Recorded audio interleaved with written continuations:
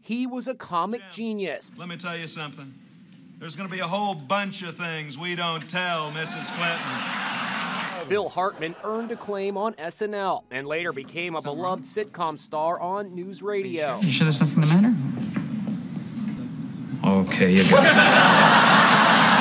Laughter came to a tragic end the morning of May 28, 1998, when Hartman was shot dead by his wife, Brynn, who also took her own life.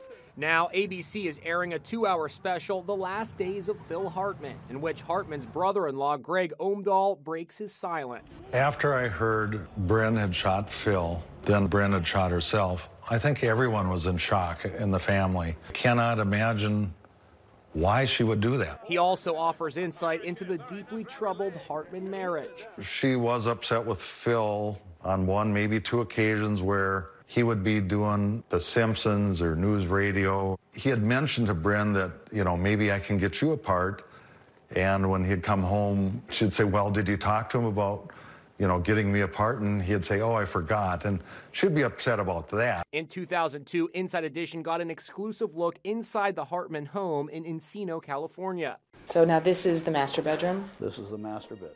The Hartmans' two children were home when their mother opened fire. Sean was nine, daughter Bergen was just six. The little girl was carried out of the murder scene by police. The children were raised by their aunt. Four years ago, Bergen honored her dad by attending Saturday Night Live's 40th anniversary celebration. She's a beautiful gal and has a handsome husband, and she's living a normal, happy life. Sean's doing well. He got a degree in art, and he's pursuing his dream of being an artist and musician. The new special also features never before seen home videos showing Phil Hartman as a doting dad.